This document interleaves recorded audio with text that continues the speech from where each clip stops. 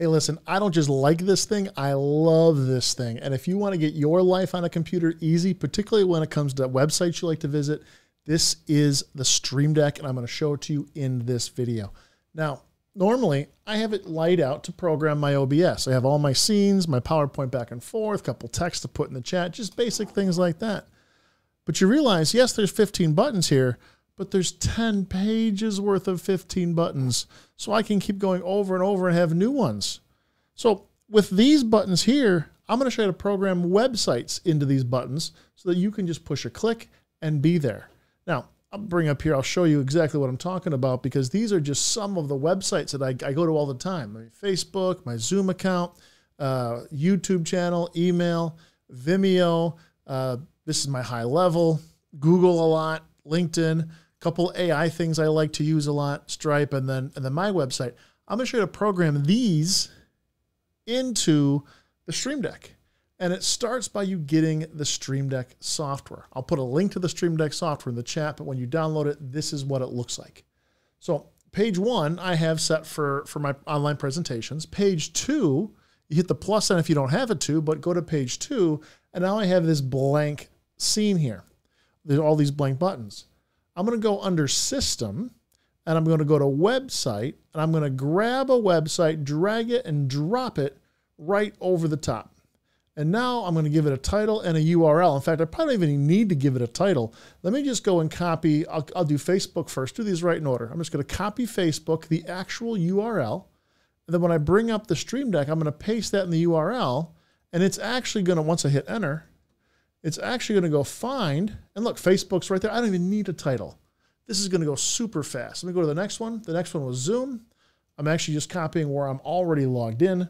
So now I'm going to grab a website, drag it to the next square, and then paste the URL just like that. And I already got it. We'll go to the next tab. This is my YouTube channel. So I'll grab that, go back to the software, grab a website, drag drop, and paste, right? So that's that's the issue seeing it done three ways now. I'm gonna now line up what I got? One, two, three, four, five, six, seven, eight, nine more I want to do. So I'm just gonna grab nine of these things nine more. One, two, three, four, five, six. That's that's six and seven, eight, nine. So just grab a bunch from preload them up. Now I'm to go grab my emails, the next one. I'm to copy that out of here and bring up the Stream Deck. And this time, whoops, hit the wrong button, open up my editor, don't need that. I just go to the, the click on the one I want, paste the URL, and enter going to go get my Vimeo account. This is where I host a lot. And by the way, if you're interested in what I do with these, and if there's enough comments and why I choose these websites and why I use these different websites, some I pay for, some are free. I have no problem showing you or doing a video behind each of these or certain one of these. You just leave a, a link, a comment in this video, and I'll make that happen. So there's there's the funnels. Now this may not have a title, so this one I'm just going to call my GHL. I'm going to hit the T down because I want to have that be in the middle and I want it bigger so I'll be able to read it just like that. And now let's go get, this one's just basic Google. And I, I really don't like when search engines try to insert themselves into your computer. Uh, let's get the next one. Okay, LinkedIn. We can do that. Copy. And then there's URL, paste. And let, now Opus Clips, oh man, I love Opus Clips. I really kind of want to do a video right now on why I like and use all these. But all I'm showing you is that you get all of these features here, all these buttons are going to be at your fingertips now. So when you want to go to these sites, you don't even need to open bookmarks or tools or nothing. I go to Stripe quite a bit. Um, and all I'm doing is just copying the URL and pasting it here. And then I'll get the last one will be mine and we'll make sure all that worked. Now, I wonder if my favicon will show up on mine, will it? Let's see. Oh, no, my favicon won't work. So I'll have to figure out why that is and maybe get get that sorted out. So the title of this one is going to be, uh, I'll just call it my site, my website, and then I'm going to figure out why mine doesn't populate. I bet I can figure that out maybe in some of the settings for SEO, something. I'll figure that out. I'll make a follow up video on that. Purpose it isn't to get that done though. Purpose is to get uh, this is AI image creator. Purpose for me is to get this set up so that you can have easy access to all all of your websites push of a button. So now watch this. I'm going to close these websites so they don't even exist, right? They're not even on my screen. And what's going to happen now? Now I'm going to push this button, each of these buttons now. this is exactly what it looks like. They're all programmed, ready to go. So now when I push these buttons, and I'll go back to the desktop so you can see me push the button, and you'll watch it come up. So it's as simple as this now. All I got to do, ah, there we go. I push the first button, Facebook opens up, just like that. Push the next button, Zoom opens up. Push the third button, and that's YouTube. Hey, Don Pikula here, founder of Golden Goose. Let me pause that. Uh, email opening up, Vimeo opening up, perfect. Uh, GHL opening up, Google opening up, LinkedIn opening up.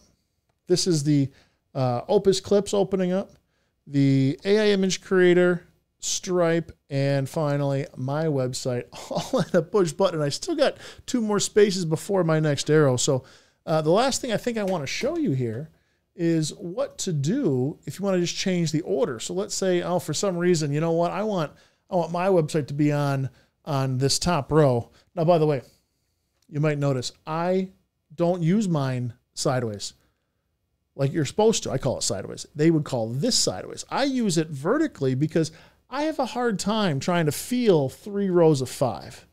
I can easily feel left, right, center.